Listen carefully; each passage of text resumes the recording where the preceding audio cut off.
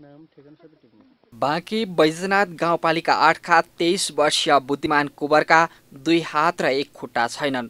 भारतमा मजदुरी गर्न गएका बेला दुई हजार चौहत्तर चैत मसान्तमा करेन्ट लागेर हात र खुट्टा गुमेपछि उनीसँगै परिवार नै समस्यामा छ। उपचार गर्दा गर्दै परिवारले भएको सम्पत्ति सबै सकेको छ तर कुवरको अवस्था जस्ताको त्यस्तै। गुजारा चलाउने र हिँडुल गर्ने हात र खुट्टा गुमेपछि बुद्धिमानले अहिले ठुलो पीडा खेपिरहेका छन्।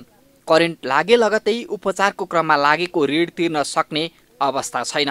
खान लाउन दिसा पिसाब गर्न पनि उनले अरूकै सहारा लिनुपर्छ।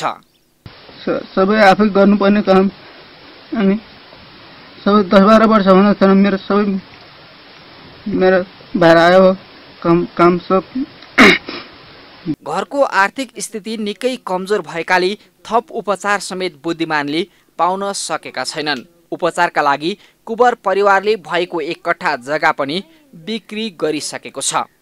कतिबाट सहयोग आए अवस्था सुध्रिन्थ्यो कि भन्ने आशा बुद्धिमान गर्छन्।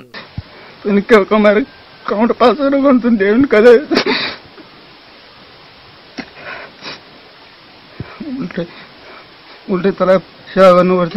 पनि काम हेर्न सक्छु कहिले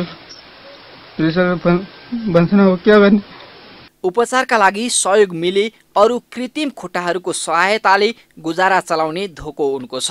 केही सहृदयले सामान्य औषधि उपचार खर्च सहयोग गरे पनि त्यसले पूर्ण उपचार सम्भव नहुँदा कुवर परिवार पीडामा छन्।